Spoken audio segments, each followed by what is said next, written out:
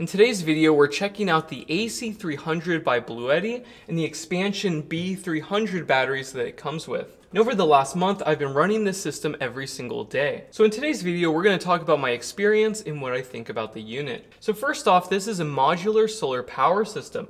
This unit has a solar charge controller, has the inverter, and it has the DC outputs. But this unit does not have a battery. You can't even turn it on. There is no internal battery at all. So to turn it on, you need to connect it to the expansion batteries with these expansion cables. And I complained about these cables in my AC200 Max video, but I think that these were designed for this system. This system is much larger, and it actually looks a lot better when these are connected on the side. And these are some large expansion batteries, guys. They have lithium iron phosphate cells, so they're pretty darn heavy. But each one can store 3072 watt hours. What's interesting is each B300 has its own state of charge indicator, it has a 12 volt output, and it has USB ports, and it has a main on and off switch. And having these expansion batteries enables this main unit to have a larger inverter circuit and a larger solar charge controller. On this main unit, we have a 3000 watt inverter, and get this, this thing can handle 2400 watts of solar input. It has two separate MPPTs, and each one can handle 1200 watts. And on previous previous Bluetti models, you had to use this massive power supply to charge it. On this one, it has an integrated AC charger, and you just plug in a cable and you can charge at a max rate of 3000 watts. And personally, I've always hated these wall chargers. This thing is just massive, and it gets really hot. So it's nice that they actually finally put it into the unit. You can also charge the system with a 12 volt or a 24 volt alternator and you can charge it with an EV power station. I have not tested that out and I'm probably never going to, but that's pretty interesting. I think the EcoFlow Delta Pro also has that. So in my opinion, this is the first serious size system that Bluetti has ever made. I like their past models, but this is just at a whole new level. This is up there with like a Titan or the large EcoFlow Delta Pro. And I think they redesigned it because everything that I complained about in the AC200 Max, they seemingly have fixed on this model. So first off, with the AC200 Max, if you drain all the batteries, it will only charge up the main battery when solar starts to recharge it. On this system, it charges up both batteries instantly. Next, with the AC200 Max, I complained that with the expansion batteries, you could easily tip it over and that was not safe. But these batteries fit into each other and they're harder to move. They also have a wider base of support. And the design of the case is quite different, so I think they had somebody design this from the ground up. It seems very different than their past models.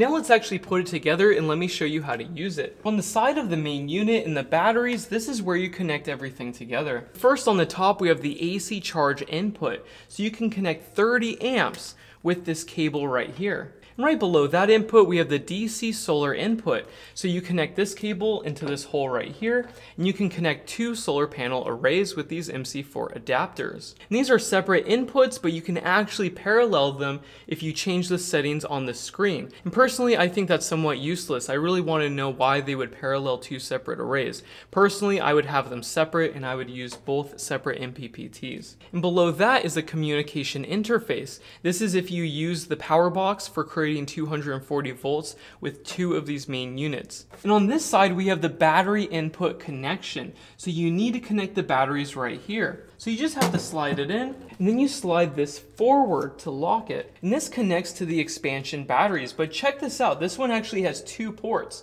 This enables you to connect more batteries to this single expansion battery. On the AC200 Max, there was only one port. And this expansion connection allows you to connect even more batteries. So you can actually put a maximum of four batteries connected to the single main unit. And this is the same port as the other one, so just plug it in. And both connections need to be locked for the main unit to turn on. And then you turn on the battery by pressing the on button, and then this automatically turns on. And it shows 11% state of charge for battery number three. So that's what it's connected to right now. But you can connect four batteries like I mentioned a second ago. And the interface is very similar to older models, but there's some new settings that they have added, such as this setting right here. So we have a max grid input current, and you can actually set this to whatever you want. So safety equals disclaimer, yes. And then you have to get the password. So I actually had to email them, and for me, the password is 159873, and then you press OK.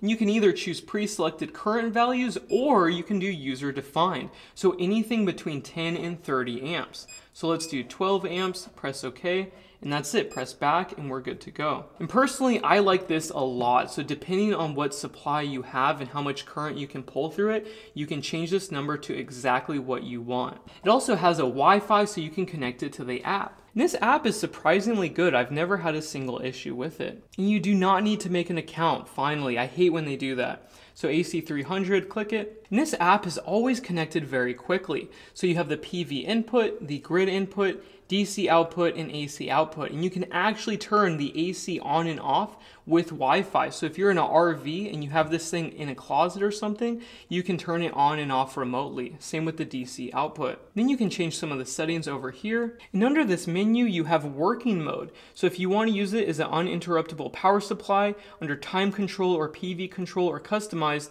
you can do it here. And you can also change the cycling bandwidth. So if you want to charge it up to 90% and then down to 10%, you can do so right here. Now on this model, you have a 12 volt output and a 24 volt output. And at 10 amps, that's 240 watts.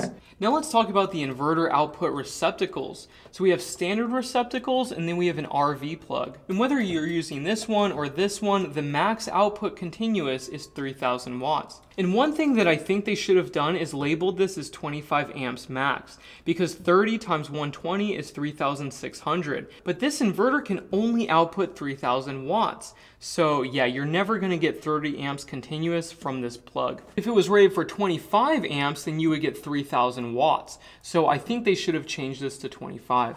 Now if I connect the second cable, and then I press the lock button, and then I press the main battery icon, you'll notice that both batteries are connected.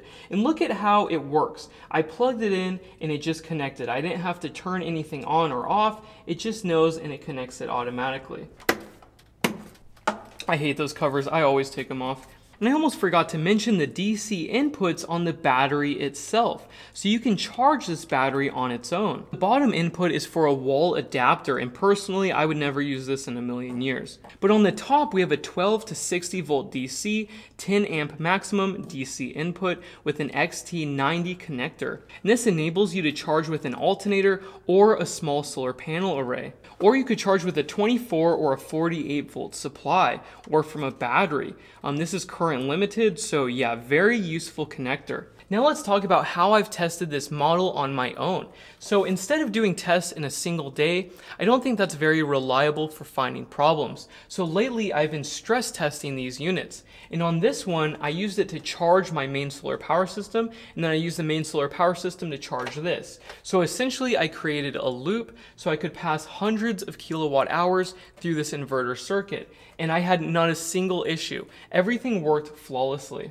But their inverter circuits have been very good for quite a long time now, and I haven't had any hangups like I have with other companies' models. Next, I connected 1200 watt array to one of the inputs, and yeah, every morning it charged up both batteries. I never had a single issue like I did with the AC200 Max. Next, I actually used these DC outputs to charge up my camera's batteries, my microphones, my phone. Um, I actually use this thing every single day now. And I haven't had a single issue with this model. Um, I haven't had the screen lock up. I haven't had anything go wrong on this model at all. And in my opinion, I know this one costs more than the AC200 Max, but I think you should get this over that one. The AC200 and the AC200 Max are good, but when you try this, like the capabilities for the price, is just out of this world. I would rather have just one unit in one battery over an AC200 Max any day. You can expand this one more. This thing is lighter. And because this main unit doesn't have a battery, if there is a warranty issue, you could ship this back a lot easier than shipping back an AC200. And you can upgrade the firmware with Wi-Fi. So if they have any software updates, you can finally do it with your phone. And the system is more versatile. We have 12 and 24 volt inputs. You can charge the batteries with its own solar array without the silly adapter, because on the other model, they have a, a, little adapter with all of these wires. Um, and then there's no adapter for the AC input. So everything that I've complained about, they seemingly have fixed on this model. Also, this can do 240 volts. I don't have that box yet, and I'd have to have two of these units, and I don't think many people are gonna actually use that. But if you wanna use the system to run like a cabin's panel,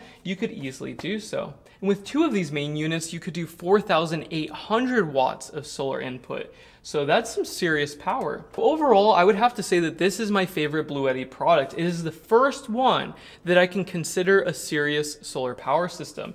And it's expandable and the functionality is amazing. Now let's talk about the downsides or anything that I found that I think that they should improve. So first, if this is to be considered a serious solar power system for off-grid use, there should be some form of autonomy for cycling with the inverter. So if I'm powering some loads and it goes to zero, when it charges back up again, it should have an option in the settings to turn the inverter back on at either a certain voltage or a certain state of charge. This does not have that, and all of my large, serious solar power systems do have that option. And that would be very useful if you have like a cabin system. Let's say it's rainy for like one or two weeks straight, and then this thing discharges down to zero. Now let's imagine you are not at the cabin to turn it back on again. And let's say you have security cameras or like a SIM card router connected to this unit. If it shuts down and it can't turn the inverter on by itself, that's a huge downside. And with MPP and Growatt inverters in large solar power systems, you should always be able to have that option. And this does not have that option, so I think that they should add it. Um, I know that they could probably do it through a firmware update through the app, so I hope that they add that. Next critique is the max input voltage is 150 volts DC. This should be 250 to 450 volts now. Now that you have the proper connector and you have MC4 adapters and this is a seriously sized system, I think that you should increase the voltage limit so you could put more panels in series. With this limited voltage input, you're gonna have to put a bunch of panels in parallel with branch adapters. So yeah, I think the input voltage should be higher on this size system. Next critique is this has the same interface as the older models and sometimes it locks up for no reason. I have not had a single issue with this model, but I'm scared to recommend anything that uses the same interface as something that has had problems in the past. And personally, I wish they just had a small switch right here and a small switch right here to turn the inverter and the DC outputs on or off. If this touchscreen fails, your whole system is down. But these touchscreens are very reliable. I mean, think about a cell phone. Those things last for years and years without issue. But this is a solar power system, and if you're trying to use this for 10 or 20 years, in my opinion, having a touchscreen is somewhat of a liability. But you can control this with the Wi-Fi app. So even if this screen failed, it should still work. Now what I want to know is who designed this thing because I think they got a new guy or something. Um, everything worked perfectly with the expansion and how this locks together is exactly what I wanted in the AC200 Max. So personally, I think that they had a new guy design it from the ground up because this one's pretty impressive. This is an actual solar power system. And that's pretty much it for this review. Um, it was actually a good review. I tried to be as critical as I could and I really hope that they upgrade the things that I made critiques about. And if you do buy this and you have a problem, please let me know. Um, post it on the comment section of this video or post it on our forum and I will see it. And yeah, I'll see you guys in the next video and thank you so much for watching. Bye.